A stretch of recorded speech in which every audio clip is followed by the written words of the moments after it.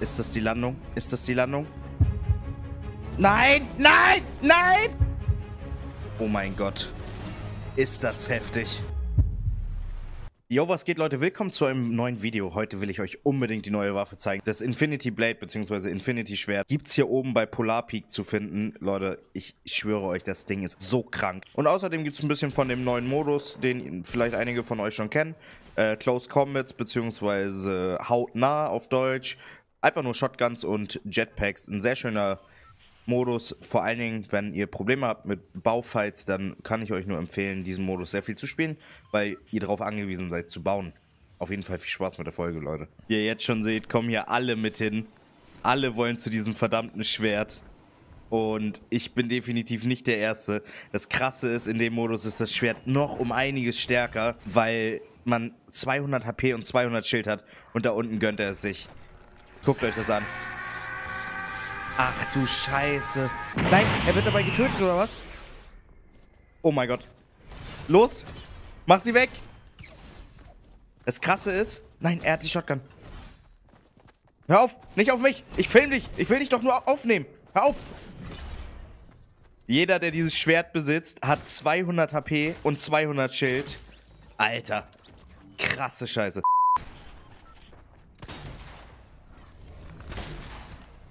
Oder ist es? Ist es unser? Nein, wir werden beschossen. Oh mein Gott. Nein! Guckt euch mal an, wie viele dahin gehen. Das ist einfach das neue Tilted Towers. Das ist schlimmer als Tilted Towers, Leute. Das könnte die Landung sein, Leute.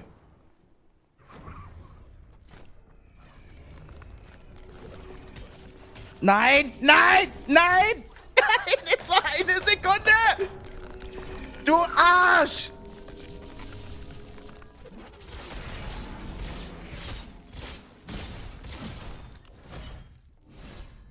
Was? Was? Es ist so geil. Leute, zieht euch das rein. Der geht ja richtig ab. Wenn die Leute keine Waffen haben, keine Chance. Alle tot.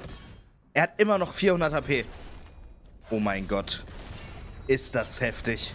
Er macht alles kaputt. Jetzt ist einer mit der Waffe da. Mit der Shotgun. Keine Chance. Er kriegt... Hat er gerade Leben dazu gekriegt? Und der nächste tot. Jetzt kommen Flugzeuge auch noch angeflogen. Ach so, wie heftig. Da ist sein nächstes Opfer.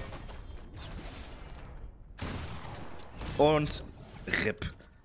Okay, ich muss dieses Ding haben, Leute. Auf geht's in die nächste Runde. Wo ist denn der Typ mit dem Schwert?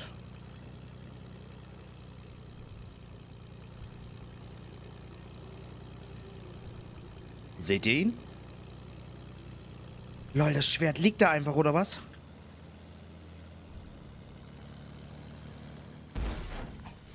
Da ist es.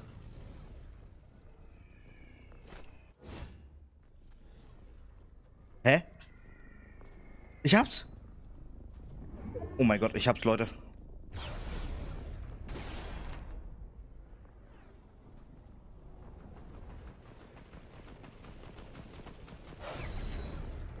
Das dürfte mir keinen Schaden geben, oder?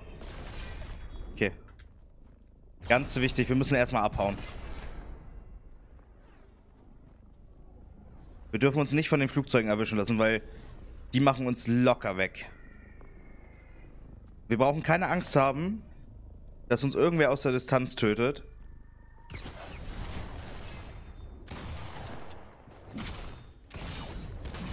Ja, Junge.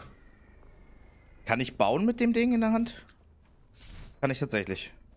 Und ich krieg Schild für, dafür, dass ich Leute töte. Okay. Ist gut zu wissen. Sieht man mich auf der Map? Das wäre auch mal interessant zu wissen. So war es damals bei dem Thanos-Modus, ja. Auch wenn die nichts miteinander zu tun haben, könnte ich mir das schon vorstellen, dass sie das einbauen. Boah, das, man fühlt sich so mächtig mit dem Ding in der Hand. Das ist so geil. Ich finde das echt gut, dass sie das eingeführt haben. Das ist zwar mal wieder eine neue Waffe, was einige Leute nicht so feiern, aber man muss halt auch einfach mal ganz realistisch sagen. dass es die halt nur einmal auf der ganzen Map gibt, ne? Man muss nochmal gucken, wie das im normalen Modus aussieht, ob das vielleicht ein bisschen zu stark ist. Aber jetzt für den äh, Close Combat Modus hier ist es ja relativ egal. Okay.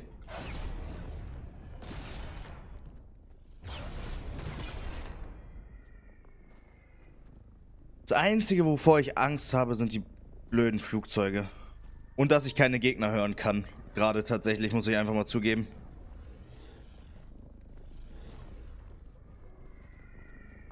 Und ich sehe auch keine.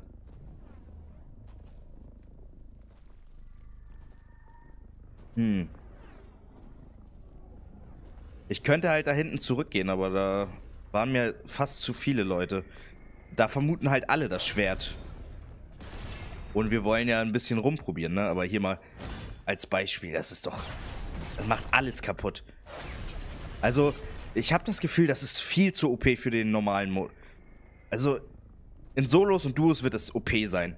Stellt, ihr, stellt euch vor, ihr baut gerade mit irgendjemandem, macht einen Baufight und auf einmal kommt hier jemand mit dem Schwert an und rasiert euch komplett weg.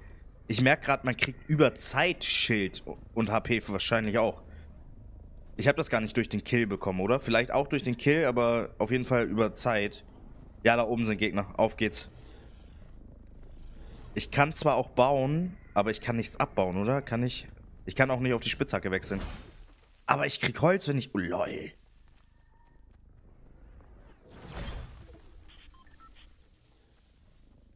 Das ist natürlich äh, insane.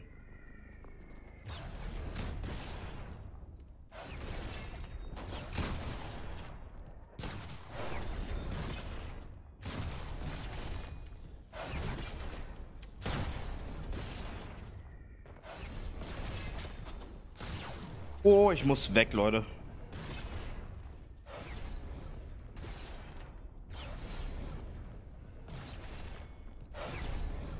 Boah, die machen viel zu viel Schaden an mir.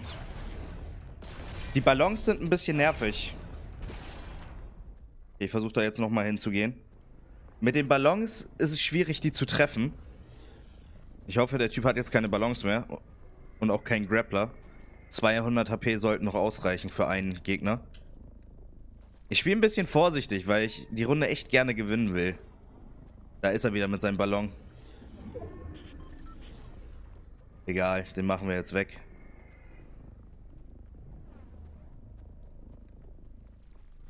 Ich weiß halt nicht, ab wann er uns hört. Okay. Er hört uns relativ früh.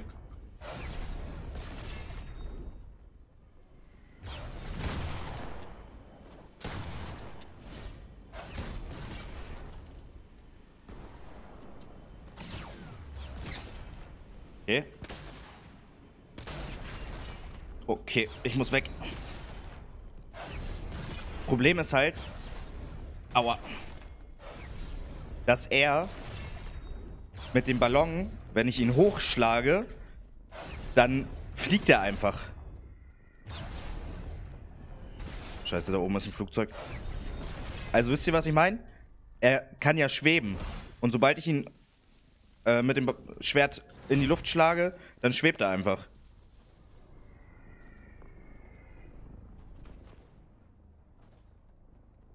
Okay, ich glaube, wir müssen mal ein bisschen, bisschen vorsichtiger sein. Wir müssen ja auch noch lernen, mit dem Schwert umzugehen, ne? Ist ja jetzt auch nicht so leicht. Aber ich bin so gehypt. Fortnite macht momentan so viele coole Sachen.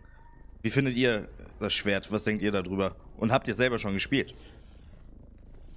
Falls ja, habt ihr irgendwelche Tipps? Ich werde heute Abend übrigens auch Livestreamen, ab 18.30 Uhr spätestens, auf twitch.tv slash raus falls ihr darauf Bock habt.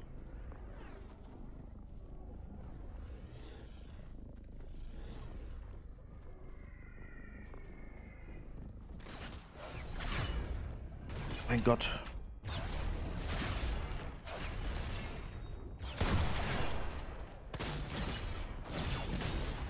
Hat mich, nein! Ja, wir gucken ihm noch zu. Nein, er... Er hat's überlebt. Oh mein Gott, wir gucken ihm noch zu. Wie er die Runde beendet. Und ob das Schwert am Ende gewinnt. Das ist natürlich auch interessant zu wissen. Er muss es jetzt natürlich auch noch lernen, aber ich vertraue ihm da. Schließlich hat er uns getötet, das heißt, er muss ein verdammt guter Spieler sein, Kappa. Hallo, ich habe gesagt, du bist gut, hör auf runterzufallen. Das mit dem Rechtsklick hat er, glaube ich, noch nicht so ganz rausgefunden. Oh, Junge. Hallo. Hör auf, dich zu benehmen, als wärst du der schlechteste Spieler überhaupt. Ist ja peinlich hier vor den Zuschauern. Du kannst das nicht weglegen.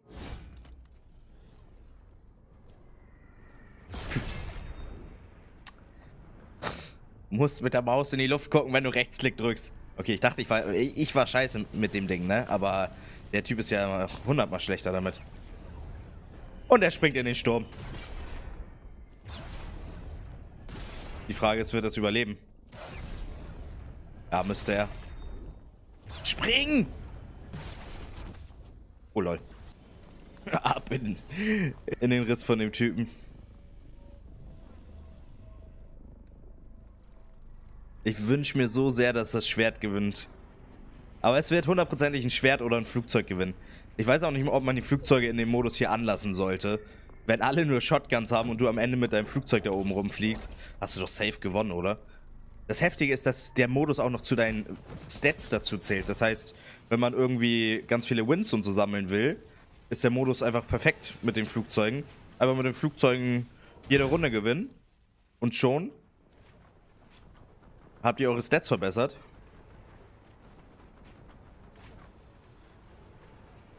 Er heilt sich langsam wieder, was gut ist. Aber ein bisschen schade, dass er mit dem Schwert jetzt hier so ein bisschen rumkämmt. Also ich bin auch weggelaufen, aber ich habe mich nicht eingebaut. Also Thiel Raga oder wie du heißt, schwache Leistung. Schwache, schwache Leistung. Was machst du denn da? Warum hast du einen Grappler? Da liegt das Schwert. Der Typ ist so durch einfach nur.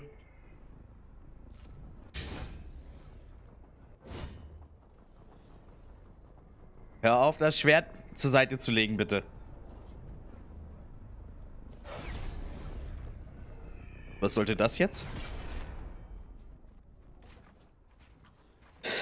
Oh Leute, das ist viel besser, dem Typen zuzugucken, als selber zu spielen. Und da kommt das Flugzeug, oder? Ja. RIP an dieser Stelle, würde ich mal behaupten. Oh, da oben ist auch noch ein anderer bei ihm. Ja, jetzt verbünden sie sich gegen ihn. Spring doch weg! Hier, diese Taktik hat er übrigens beim Summer Skirmish gesehen. Und da ist er tot. Alter, ey. Okay. Marino, ich glaube an dich. Ja, was? Jetpack mit Schwert geht? Ich hab nichts gesagt, Leute. Scheiß auf die Flugzeuge. Jetpack mit Schwert. Das ist die Meta.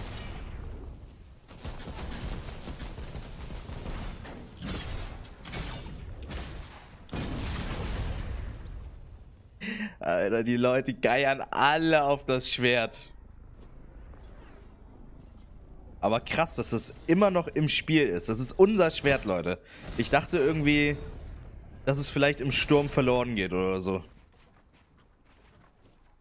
Aber jetzt vertraue ich dem Marinus da. Der macht das.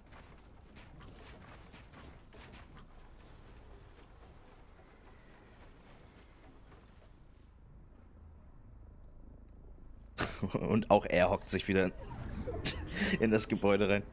Flugzeug mit Schwert, ist das möglich? Na, nicht wenn man es runterfallen lässt. Oh, da kommt jemand hochgebaut.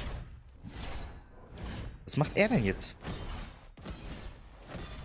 Kannst auch einmal nicht Linksklick drücken. Hallo? Hör auf, Linksklick zu drücken! Und der Typ checkt auch gar nichts. Da ist der nächste tot. Eins gegen eins. Mach ihn weg. Los, Marinus. Ich glaube, drück Rechtsklick. Marinus.